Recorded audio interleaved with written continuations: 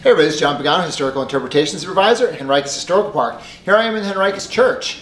And it reminds us of when Pocahontas is going to marry John Rolfe in April of 1614 and the letter that we have from Sir Thomas Dale where it describes they're married in the church. But I'm going to take us back to the situation where Pocahontas will get to marry John Rolfe, and that's going to be March of 1614. Sir Thomas Dale is going to finally answer Powhatan's demand to come see him at his capital, Matchcot.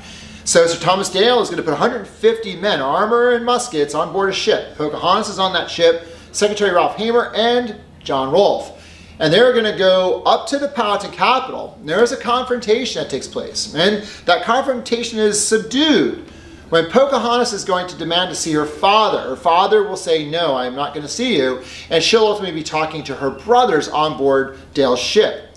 Be John Rolfe that is actually going to meet with uh, emissaries of Powhatan.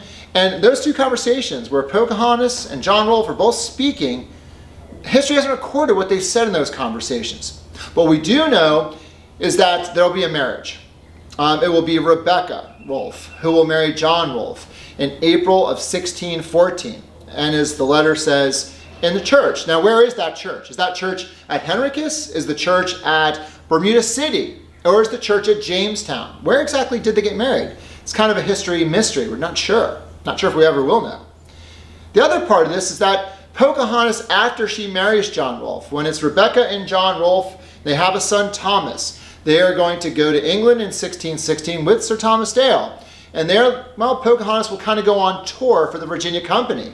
She's in some ways a celebrity, but in London, uh, it's got bad air. She's going to struggle with her lungs, and they'll bring her out of town and recover some.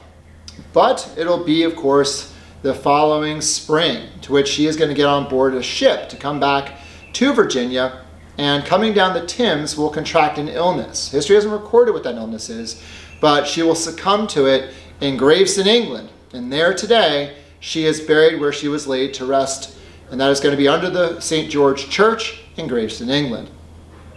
Thanks for watching.